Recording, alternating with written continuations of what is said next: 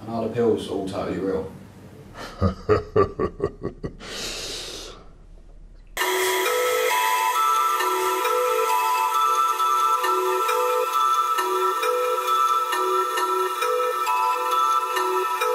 I don't make, you know, drugs art uh, uh, because I just make art. The pills that I use are the old school pills. It's not about anything that happened beyond the the slump, the E slump of the 90s. It's it's a powerful memory. It's a powerful thing, and these are symbols of that. And I wanted to find a way of suspending that moment forever.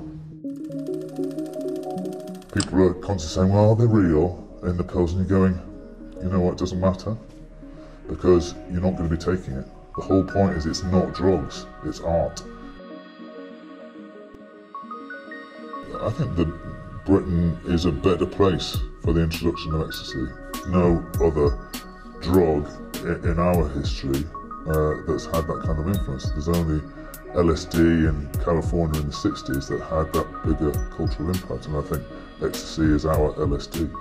To watch people stand in front of a piece and the way that they feel when they stand in front of 10,000 pills, some of them see it as potential prison sentence, some people may see it as a load of money, some people may see it as a dangerous thing. You know, everybody's got their narrative. Nobody just turns up and goes, oh, one of the reasons uh, that uh, that I work under a pseudonym is is because I don't want to talk about the artist per se. It's it's a, because the more you know about an artist, the more you judge the work by them, and and it's it shouldn't be. We avoid, you know, the art um, establishment because they're a bunch of cons.